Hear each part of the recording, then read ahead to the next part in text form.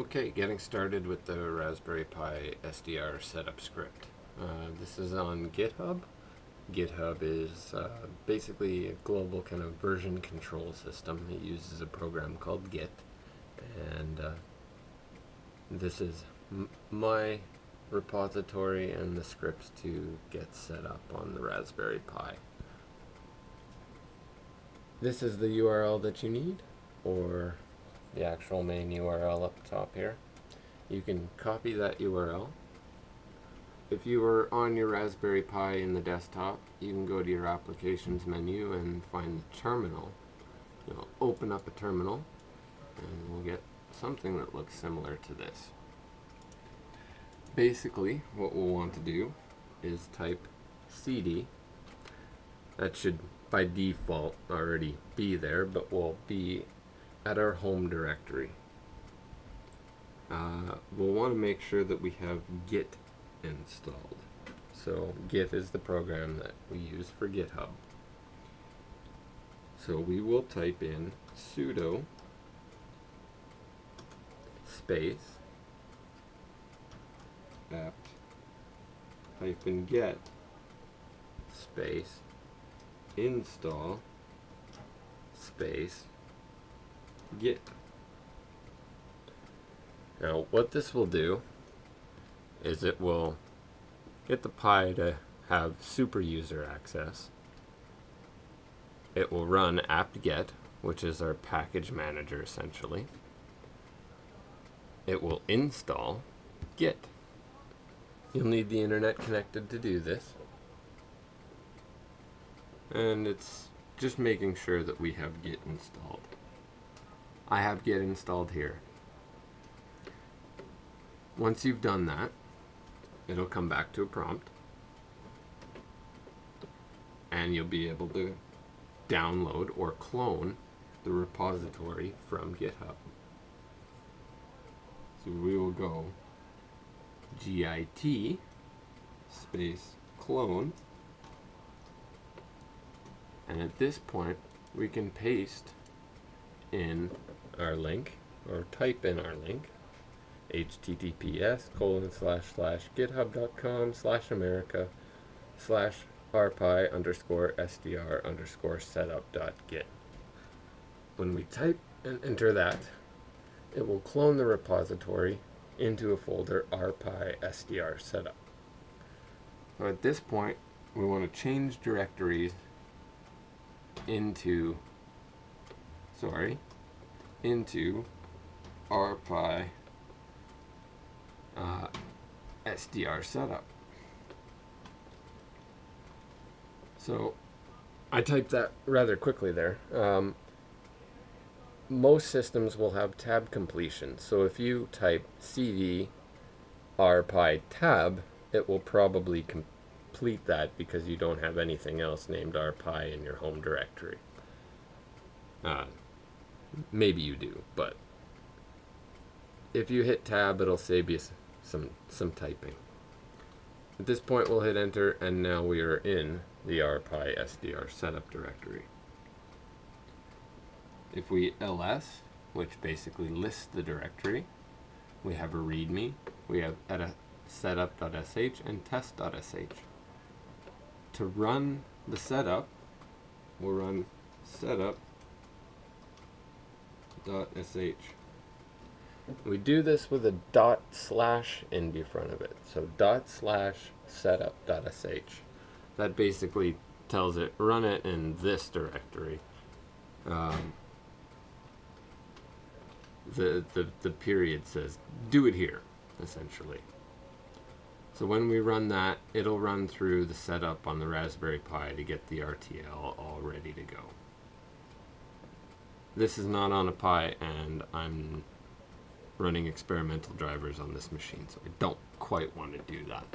Um, I'm going to show another way doing this through PuTTY remotely.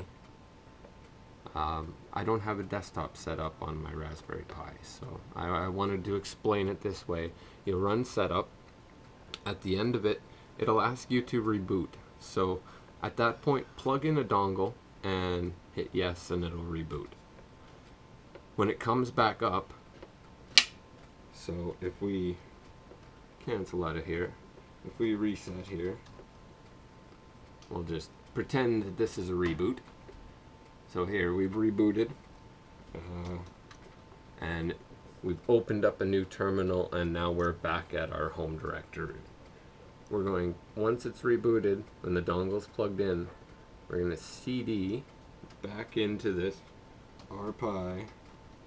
I've got to do the underscore for my tab completion here. RPi SDR setup. We'll hit enter. Now we'll run the dot slash test tab dot sh. At this point, it'll tell us whether we have a dongle connected or not, if it's a pass or fail. Uh, it'll ask you to connect a dongle when you're ready to test hit enter. So I'm going to hit enter. It was a fail. It didn't get detect any gain reports back from the dongle. And it listed out my USB devices. Just so if you do have any problems, you can copy and paste that and no supported devices found.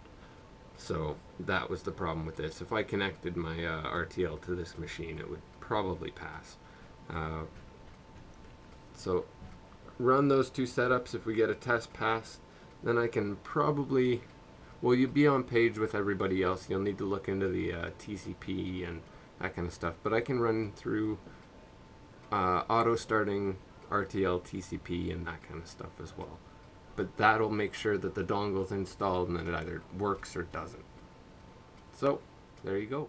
Okay, we've done the one in a terminal on the Pi. Now we're going to actually go to your normal computer, uh, make sure the Pi is still connected to the internet.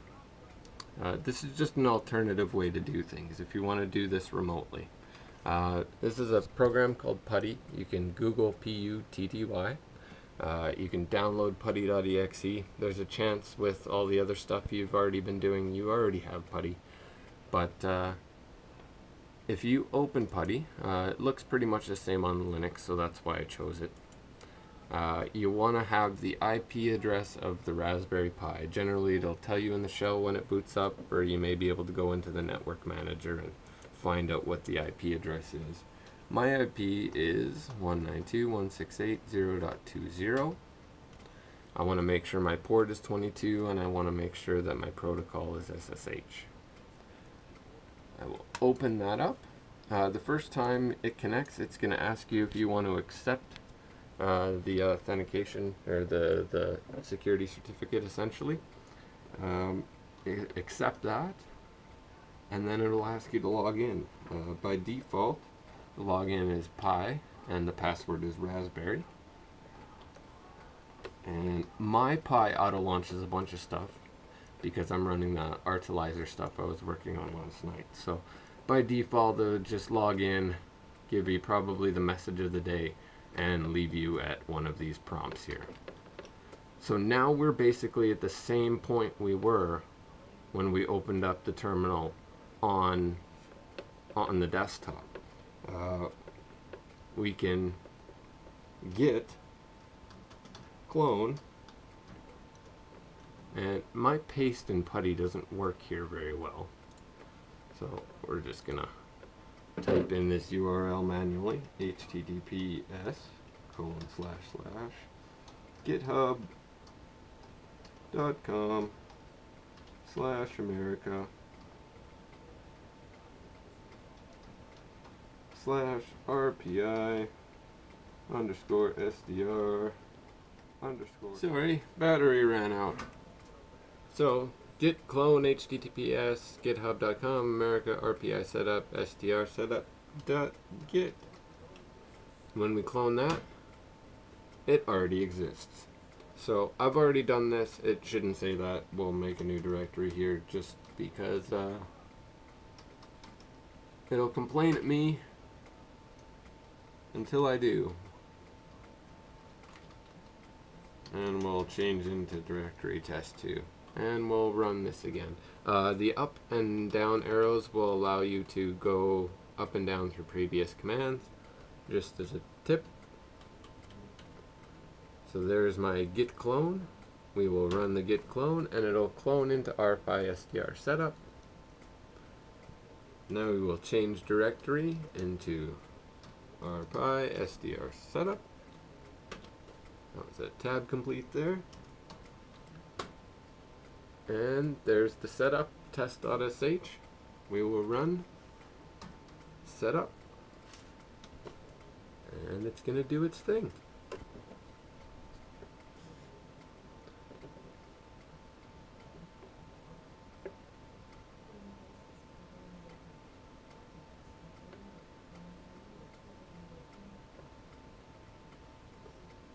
and it's ready for a reboot. So at this point, I'm not going to reboot. Everything's already been installed once. And we're going to run test. I do have a dongle connected at this point. We'll see if my test passes.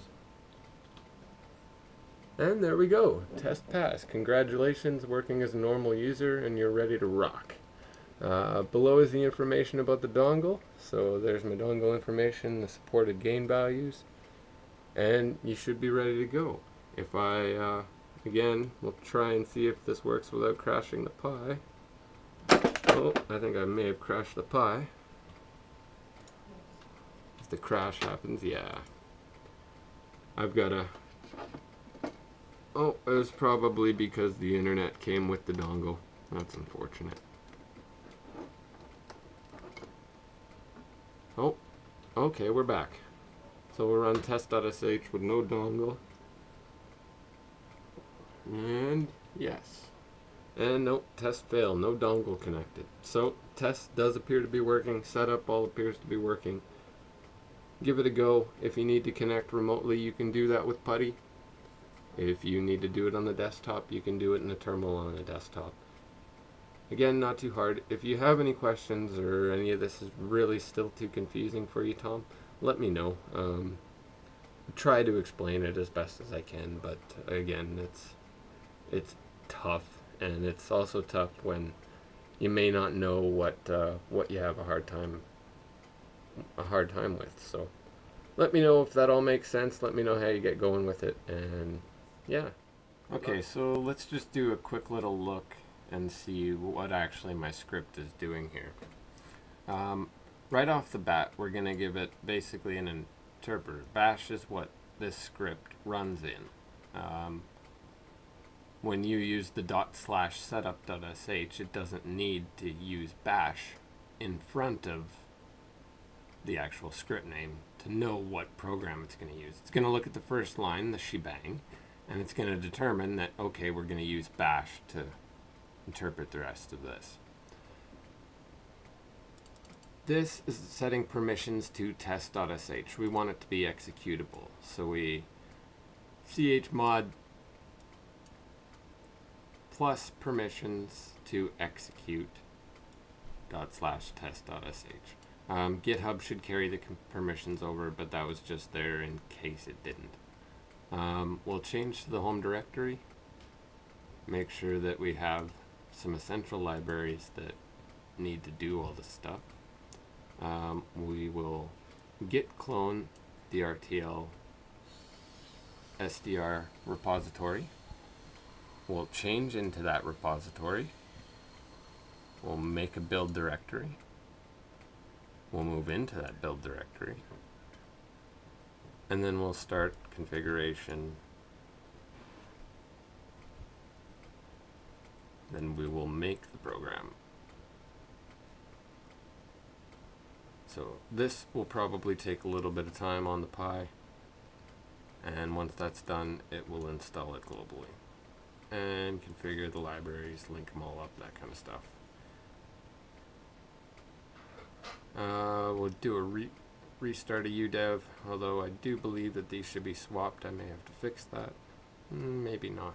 Um, this should install the UDEV rules and then um, basically that allows your dongle to have permissions as a non-root user. And due to Linux having drivers for this dongle built in, um, we want to blacklist that driver and use the RTL driver instead. So we'll blacklist the built-in one and then we'll give you a prompt that we're ready to reboot. So really, that's about it. Nothing malicious in there. Um, let me know if there's any updates you want. I'll run through the test here. Test just uh, waits for you to connect the dongle and hit yes or no.